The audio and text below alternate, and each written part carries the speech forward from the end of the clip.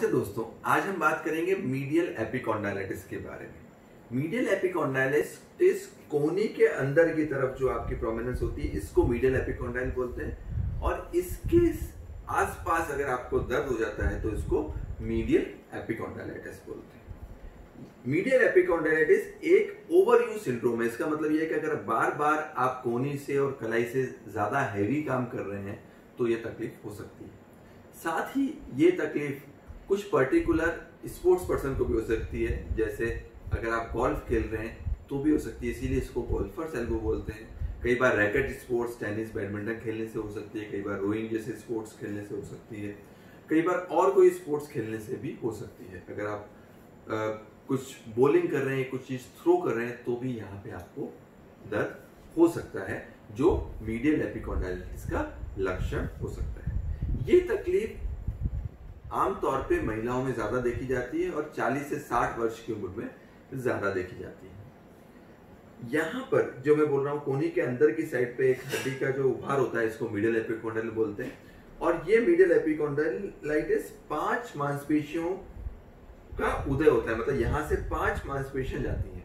पहली मांसपेशी pronator teres बोलते हैं, दूसरी मांसपेशी फ्लेक्सर कार्पाई रेडियलिस तीसरी पामेरिस लॉन्गस चौथी फ्लेक्सर डिजिटोरम सुपरफिशियलिस और पांचवी मांसपेशी फ्लेक्सर कार्पाई अल्लारिस ये पाँचों मांसपेशियाँ एक कॉमन ओरिजिन बनाती हैं जो तकरीबन तीन सेंटीमीटर का होता है और वो मीडियल एपिकॉन्डाइटिस पर अटैच होता है। तो अगर आप कोई भी भारी काम और जो आप लगातार उसको करते रहते हैं तो यहाँ पे दर्द आ जाता है, जिसे हम मीडियल एपिकॉन्डाइटिस या गोल्फर्स एल्बो कहते हैं। ये तकलीफ़ आपको अगर मोटापा है डायबिटीज़ है, अगर आप स्मोक करते हैं और एक पर्टिकुलर एक्टिविटी रिपीटेड एक्टिविटी आप ज़्यादा से ज़्यादा एक ही एक काम आप बार बार कर रहे हैं तो उसके कारण हो सकता है। ये तकलीफ़ अगर आप कलाई को मोड़ेंगे और कलाई को अंदर की तरफ़ घुमाएँगे, जिसको हम कलाई का फ्लेक्शन रिस्ट का फ्लेक्शन और प्रोनेशन बोलते हैं तो बढ़ जाएगी। मतलब आप अगर ये मूवमेंट और ये मूवमेंट कर रहे हैं तो यहाँ पे जो तकलीफ़ है मीडियल एपिकोंडाइटिस की वो बढ़ जाती है।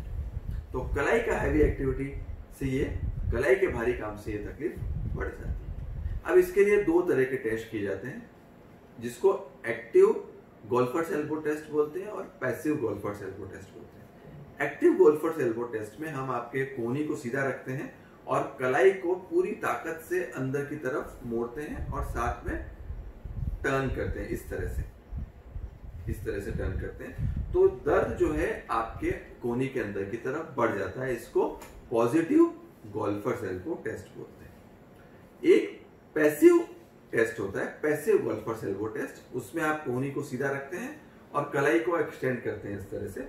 और आपके जो दर्द है वो बढ़ जाता है। तो इसको पैसिव गोल्फर सेल्बो टेस्ट बोलते हैं। अगर आपको गोल्फर सेल्बो की तकलीफ़ डायग्नोस होती है तो इसका इलाज बहुत ही आसान है। इसके लिए कुछ सूजन कम करने की और कुछ दर्द कम करने की हम दवाई देते हैं। ओकेजनली कुछ पेशेंट को हम एल्बो स्प्लिट देते हैं जिसमें एल्बो को कोनी को सीधा रखा जाता है। साथ ही साथ कुछ ट्यूब वगैरह भी दे सकते हैं। बर्फ़ का सेक हम कर सकते हैं जिससे आपकी जो तकलीफ़ है उसमें आपको राहत मिलेगी।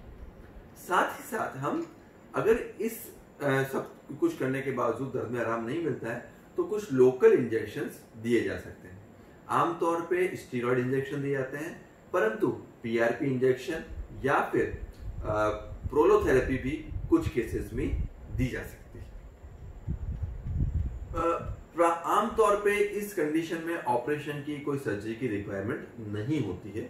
बहुत ही रेयर केसेस में हम एक सर्जरी करते हैं जिसमें हम जो फ्लेक्सर ओरिजिन है, उसको निकाल देते हैं और एपिकोंडाइल का थोड़ा सा डिब्राइडमेंट कर देते हैं, एपिकोंडाइल को थोड़ा साफ़ कर देते हैं, जिससे ये तकलीफ़ ठीक हो जाती है। ये करने की रिक्वायरमेंट यूजुअली दो से तीन परसेंट पेशेंट में ही पड़ती है।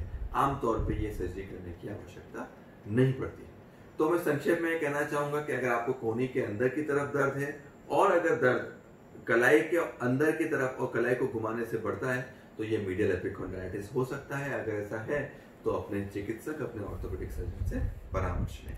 धन्यवाद।